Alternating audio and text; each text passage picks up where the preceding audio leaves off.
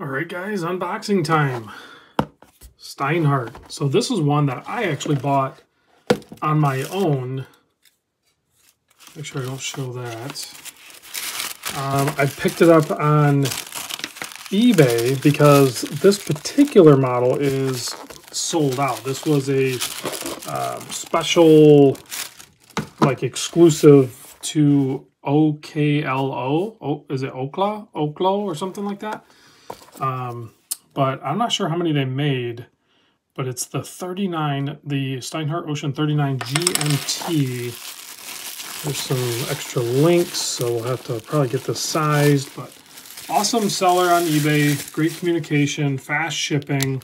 Um, watch looks good from first glance here. I don't see anything, yeah. He said it was like new, and it's basically like new. I don't see any problems, but get a look at that thing.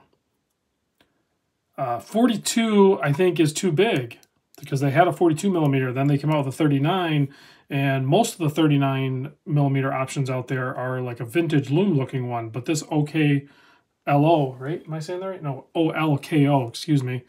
O OLKO, something like that. Um, they did, uh, they spec'd it out for their special edition run with full white. I like this look. This looks really good. So there's the watch. It looks like the hands lined up pretty close. Might be a little off, but it's pretty close. Close enough for who it's for.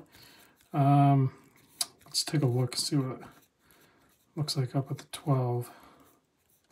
He's got the hands already set for me here. Oh yeah, they line up good. Okay, so just love the look of this.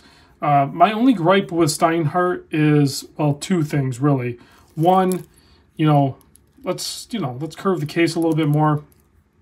And then two, the uh, Cyclops, the date magnifier is like not really a magnifier.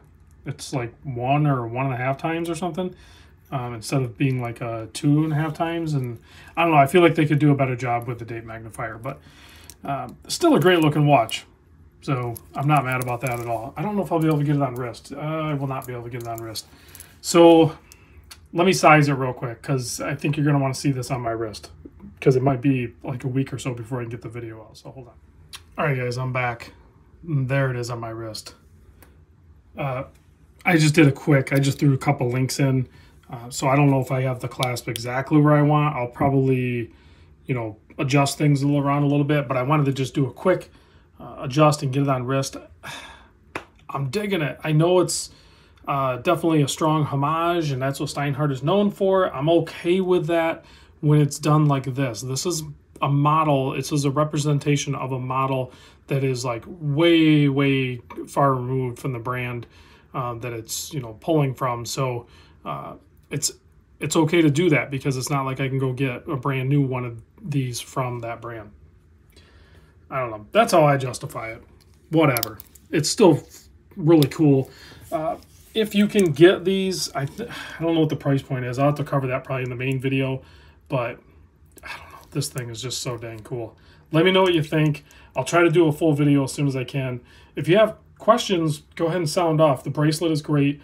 The screw links are really good. I did notice like a little bit, like if we zoom in. Um,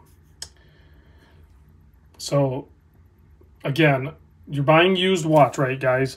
And the, can you see that? Why is it not focusing? Focus. Okay, see the scratches. That's just, you know, uh, he had probably had the wrong size screwdriver, was in a hurry, or didn't just have a good enough light and uh, optics. Um, that's really common to see on a used watch when it's being sized up. Uh, it, it doesn't bother me. Uh, if it bothers you, then those are things that when you're buying a used watch, you're really going to want to ask, you know, detailed questions. Are, the, are any of the links scratched up from sizing? And then have him provide pictures and stuff like that. I didn't ask that because he basically said the watch was in perfect shape, and the pictures that I looked at confirmed that.